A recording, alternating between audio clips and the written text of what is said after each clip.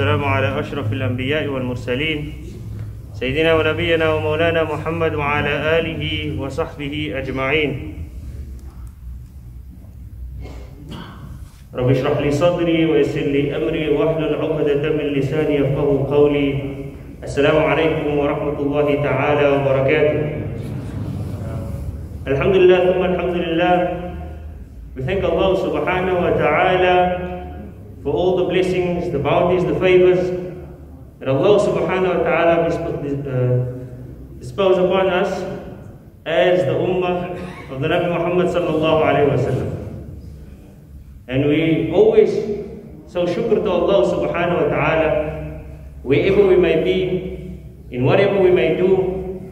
Because remember, Jamaatul Muslimin, Allah subhanahu wa ta'ala says, وَإِن تَعُدُّوا نِعْمَةَ اللَّهِ لَا تُحْصُوهَا That if you were to try and count the favors and the bounties and the blessings that Allah subhanahu wa ta'ala gives us on a daily basis, that which we know of and that which we do not know of, it will be uncountable.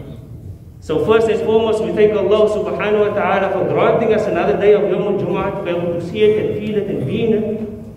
And we ask Allah subhanahu wa ta'ala to allow us and give us permission to be able to stand in the masajid when Ramadan comes. Ameen ya Rabbal Alameen. Now, Jamaat Muslimin, we as the representatives of Islam, we have an important duty. We have an important duty not just because we are Muslims, but because those, for the males, we are the leaders in the community. We are the ones that the children look up to as a role model in our families. And we have a duty to Allah subhanahu wa ta'ala to teach our children, guide our family, and correct that which is wrong within our community in the best possible manner. And one of those things that the Nabi Muhammad sallallahu alayhi wa sallam has said with the best of character, the best of morals. The Nabi alayhi salatu wasalam came to perfect the standards of character. Allah subhanahu wa ta'ala says, وَإِنَّكَ لَعَلَى خُلُقٍ عَظِيمٍ That you are of the best of character, the best of morals. Now, Jamaat Muslimin, Islam has many different, you know, ibadat, many different adhkar that we can do to gain closeness to Allah subhanahu wa ta'ala. Deeds that we can perform in order to gain closeness to Allah subhanahu wa ta'ala. Those that weigh heavy in the scales Yawm al-Qiyamah. Because Jamaat Muslimin, that is our objective on this dunya. Is for us to be able to gain as much as reward as we can from Allah subhanahu wa ta'ala in this life before the next. And the Nabi alayhi salatu says that one of the, the most heaviest after your ibadah, after your salah, after your zakah, after your hajj, one of the heaviest things after that in the scales for you on Yawm al-Qiyamah is good akhlaq. Good akhlaq to have good morals and good character. Allah subhanahu wa ta'ala says, فَبِمَا رَحْمَةٍ مِّنَ اللَّهِ لِنْتَ لَهُمْ Talking to the Nabi alayhi salatu wasalam. وَلَوْ كُنْتَ فَضًّا غَلِيظَ الْقَلْبِ لَانْفَضُّوا مِنْ حَوْلِكَ ta'ala says in the Holy Quran, فَبِمَا رَحْمَةٍ مِّنَ اللَّهِ لِنْتَ لَهُمْ That by the mercy of Allah subhanahu wa ta'ala, you are lenient to them. The Sahaba, the Muslimin, وَلَوْ كُنْتَ فَضًّا غَلِيظَ الْقَلْبِ But if you are a hard person, a harsh person, a person that does not have mercy, لَنْفَضُّوا مِنْ حَوْلِ That they would have ran away from you. They would have ran away from you. فَاعْفُ عَنْهُمْ وَاسْتَغْفِرْ لَهُمْ وَشَاوِرْهُمْ فِي الْأَمْرِ Then Allah subhanahu wa ta'ala says, so forgive them. Ask Allah subhanahu wa ta'ala for forgiveness for them. وَشَاوِرْهُمْ فِي الْأَمْرِ and help them to make decisions to better their lives. And once you have done that, put your tawakkul in Allah subhanahu wa ta'ala. So the Nabi alayhi salatu wasalam showing us how important it is for us to always have good akhlaq. Wherever we may be, whatever we are doing, it is always best for a Muslim to show that he comes from a religion that represents peace and goodness, righteousness. The Nabi alayhi salatu wasalam says, إِنَّ الْمُؤْمِنَ لَا يُدْرِكَ بِحُسْنِ الْخُلُقِ دَرَجَةِ الصَّائِمِ الْقَائِمِ That a person with good akhlaq, good adab, whether it is in front of people that they want to, you know, not let them see the bad side of them, or whether it is in front of their family members, whether it is in front of their spouse or their children. The Nabi alayhi says that the person that can, you know, embody that good manners, they are like a fasting person that is standing in tahajjud all night. A fasting person, Jamaat Muslimin, as-sa'im al-qa'im.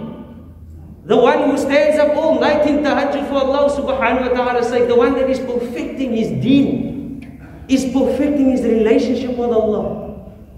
That is where the daraja of having good morals and character. And when it comes to minor things, you know, things you don't really think of, not just in the way you speak or the way you react, but also in the simple, small things that you do for people. Don't think that it means nothing. Because all of those, Allah subhanahu wa ta'ala is telling the malaika to write down for you.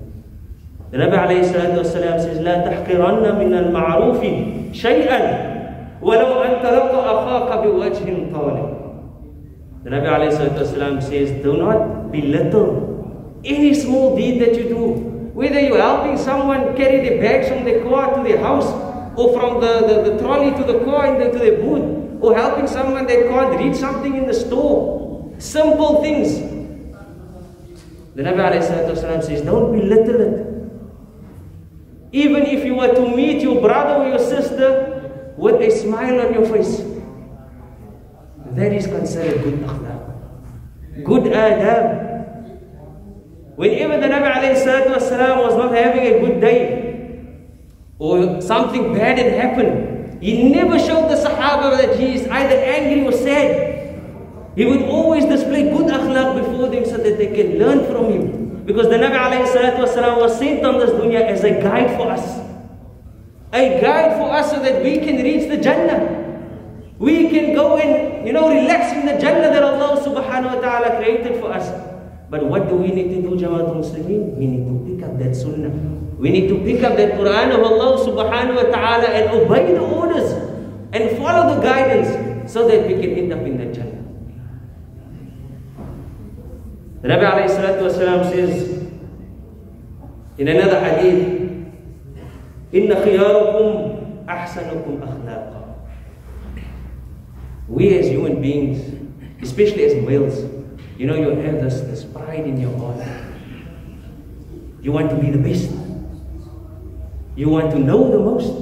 You want to be able to do everything. Because as males, you have that, you are born with that. And you have that pride in your heart. But the Nabi والسلام, shows us that there is certain times where you, you know, uh, hold on to that pride. And there is certain times where you let it go. When it comes to your akhlaq, your adab, your ibadah, the way you speak, the way you, your actions that you do, you hold on to your pride. You are a Muslim, a mu'min in Allah subhanahu wa ta'ala. You never let go of that when it comes to your pride. But when it comes to worldly things, trying to show, some, show someone else that you are better than them, trying to prove to everyone that you are the greatest that ever walked this earth, then Jamaat Muslimin, we are harming ourselves. We are taking our pride and we are putting it in the wrong place. Our pride should be Islam. Our pride should be the Nabi Muhammad sallallahu alayhi wasallam. Our pride should be representing Islam in the best manner. Doing the most ibadah we can do. Doing the most adhkar that we can do. That is our pride that we need to uphold on this dunya, not the pride to show everyone that you are the best. Not the pride to show everyone that you are the wealthiest, or you are the smartest, or you are the cleverest. Not that Jamaat Muslimin. The Nabi Muhammad sallallahu alayhi wasallam says, when it comes to taqwa, a man asked the Nabi alayhi wasallam, ما أكثر ما يدخل الناس الجنة? What is the one thing, or one of the things that people will enter Jannah because of. No? That most people will enter Jannah because of. And the Nabi salatu says, Taqwa Allah wa husn To have sincere belief in Allah subhanahu wa ta'ala.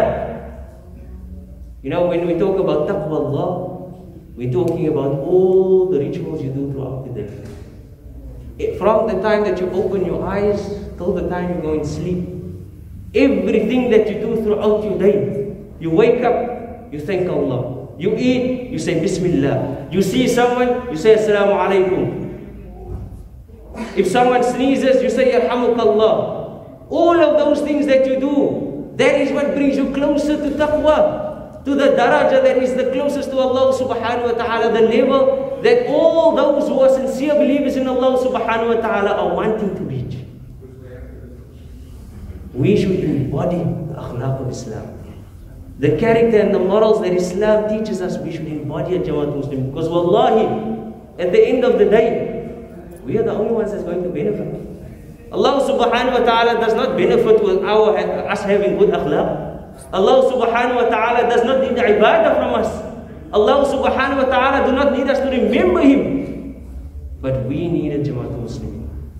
With everything that we do throughout our day, the minor things that we do wrong, the way we speak to people, the way we retaliate, all of those things, Jamaat Muslimin, we need to wipe it off our scales. And one of the ways we can do that is to have good character and good morals to have a good way of speaking, a good way of reacting. Let me give you an example. Sayyidina Ali, radiallahu anhu, he was, uh, he was, at the time when he was Amir al-Mu'mineen, he was the leader of the Muslims. So obviously all the people came and gathered around him whenever he had, had an occasion. And he had a young boy that was working by him at the time, a ghulam, a young boy. And while they were sitting outside of his house talking, one of his guests wanted something to drink. So he shouts, Ya Ghulam, Ya Ghulam. The boy doesn't answer. He shouts again, Ya Ghulam. The boy doesn't answer. So he gets up and he goes to see what happened to the boy. And as he comes into his house, he sees the boy is laying on his back, foot over the other foot, and singing. Sayyidina Ali radiallahu anhu, family of Rasulullah sallallahu alayhi wasallam, married to the daughter of Rasulullah sallallahu alayhi wasallam. And this boy ignores him. And not just that, but at the time he was Amir al-Mu'mineen. So he asked the boy, did you not hear me calling you? And the boy said, I heard you the first time you called me. At that point you would be in shock. If that was your child, what would you have done? Probably drag him across the floor and give him a couple of hidings along the way. And he says, I heard you from the first time when you called me. So Ali then looks at him and he remains quiet and he goes and he fetches the water with the drinks and he goes outside. And when he comes outside, he's smiling. And those who were at the time around him, they ask him, uh, Ya Amir al-Mu'mineen, why are you smiling? And he says, Well, let me explain to you what happened. I called this boy three times, he don't answer. When I came inside, he's laying on his back, relaxing with his foot over the other foot and singing. And when I asked him, Why didn't you answer? He says, Amantu ghadabak. Amintu ghadabak.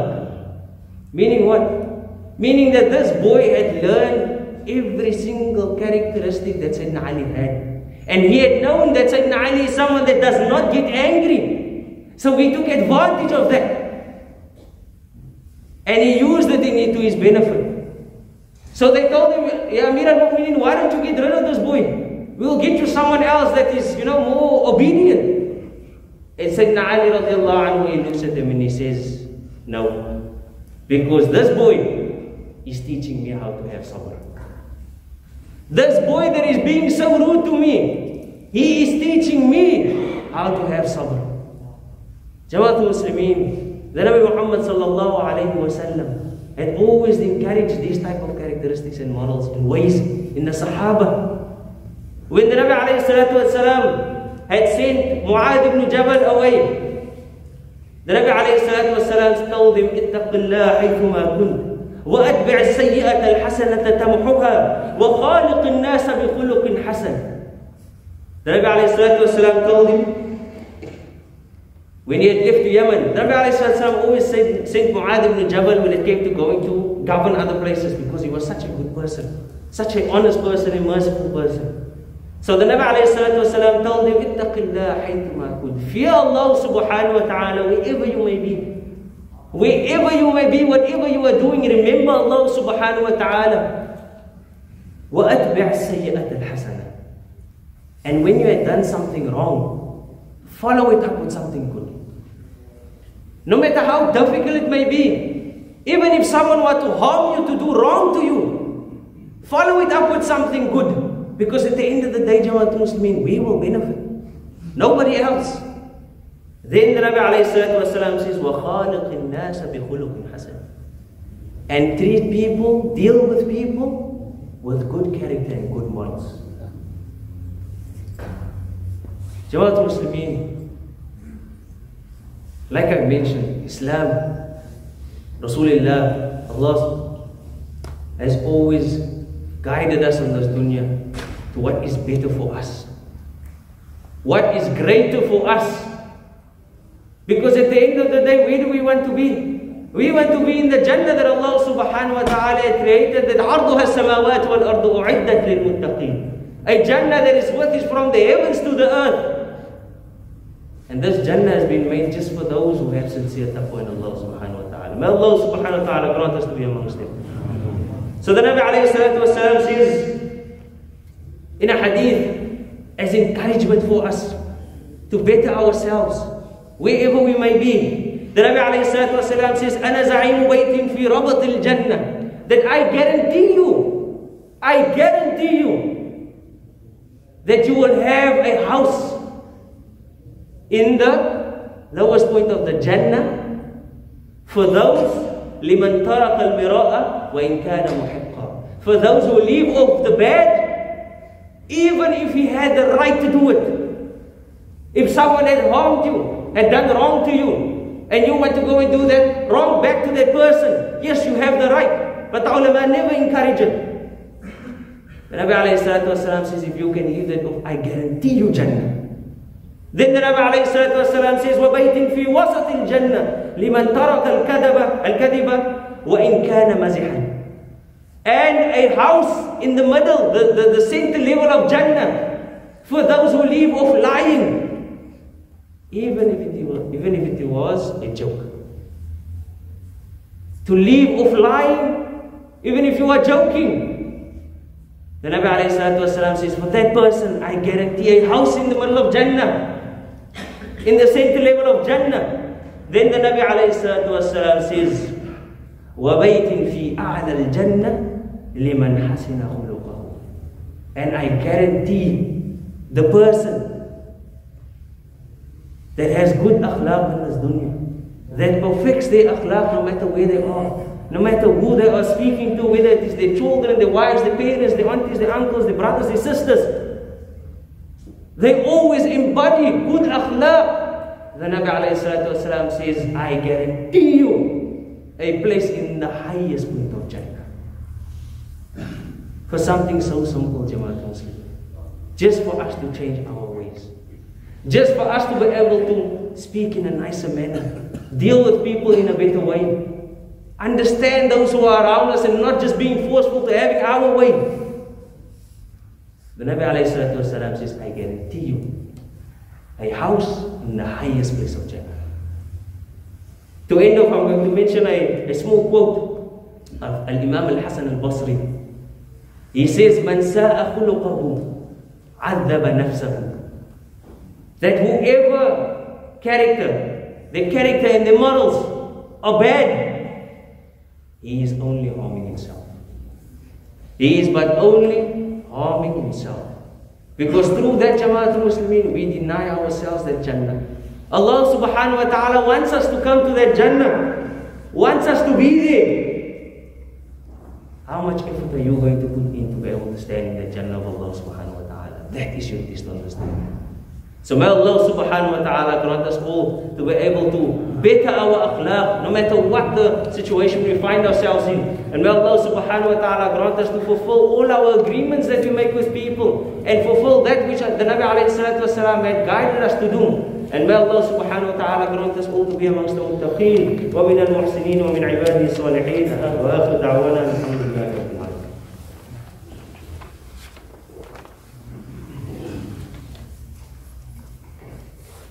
Jazakallah khair al-jazat al-Sheikh Khalied for an inspiring khutbah as we enter or about to enter the month of Ramadan. Jamaat Muslimin, I have uh, specifically asked our cameraman to leave on the video because we have an important announcement. We have a project that is called Imam Taawun Program. Imam Taawun Program means it is a collection by the cooperation of SANZAF and the Muslim Judicial Council to support imams that are having financial difficulties in their life. It is a whole project on its own, done very professionally from SANZAF, and it asks that you sign a debit order which will be laying in front of by the masjid for those who are looking at the video. You can go to the internet site of SANZAF where you can sign up for this Imam Ta'awun program for there are many imams that we're not even aware of that are having a tough time when it comes to financial. So Jazakumullah khair al We hope that the community will support and especially with the month of Ramadan coming, these are all the good things that will count in our favor inshallah subhanahu wa ta'ala.